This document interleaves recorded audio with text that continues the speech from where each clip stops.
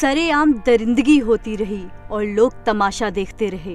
कोई मदद के लिए आगे नहीं आया। जी करता है, जहर पी लूँ या कोई मुझे गोली मार दे।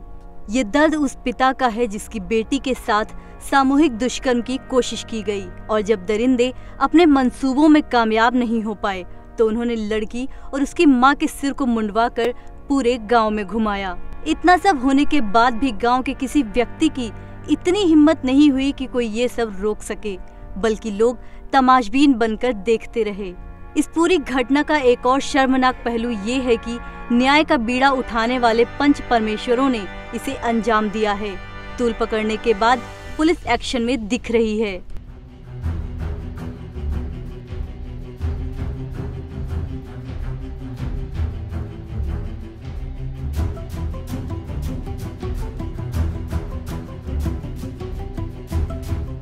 भीख मांगकर परिवार का गुजारा करने वाले बेबस पिता को अब इंसाफ चाहिए और उन्हें उम्मीद है कि प्रधानमंत्री नरेंद्र मोदी उसकी मदद करेंगे। पुलिस ने भले ही मुख्य आरोपित वार्ड सदस्य सहित दो आरोपियों को गिरफ़्तार कर लिया है।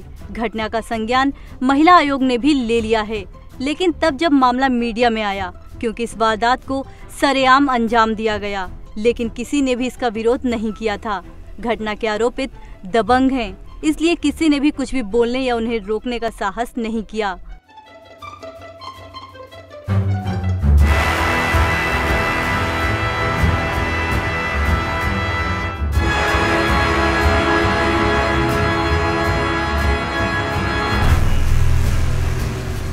माँ बेटी जलील होती रहीं और समाज तमाशा देखता रहा।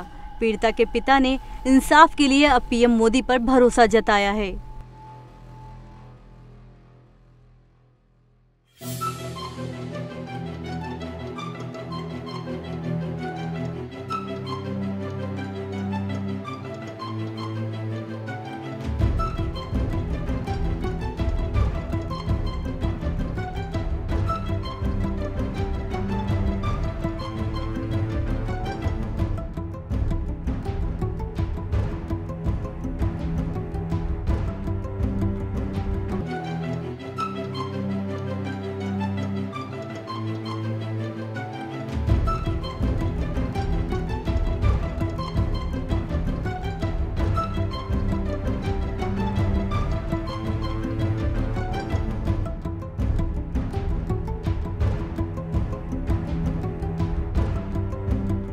News desk